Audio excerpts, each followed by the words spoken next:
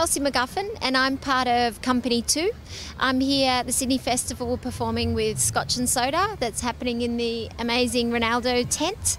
Um, we are a collective of two groups Company 2, which is made up of four acrobats, and we're all Brisbane based, and then the Crusty Suitcase Band, who are very well known here in Sydney, some based here in Sydney, and now some up in northern New South Wales.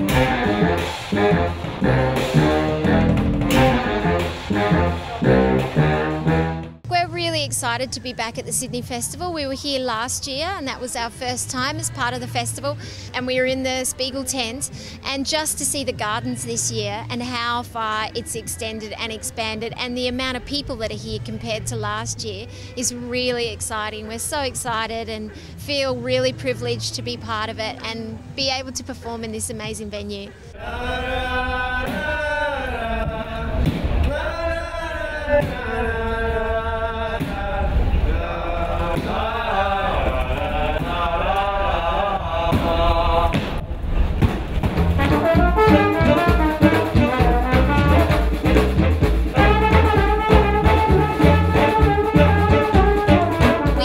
Together for a week in Mullumbimby and then we've just done four shows at the Woodford Folk Festival and now we're here. This is a classic tent that belongs to the Ronaldos, a, a, Belgian company.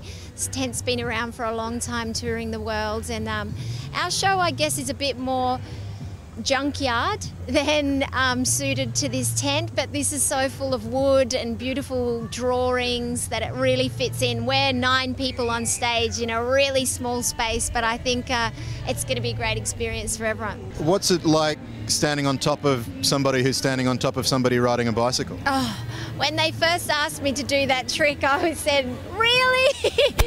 Does it have to be me? Um, but actually, it's not too bad. I watch them do the rest of their stuff in that act. It's such a tight space to be doing a bicycle act on.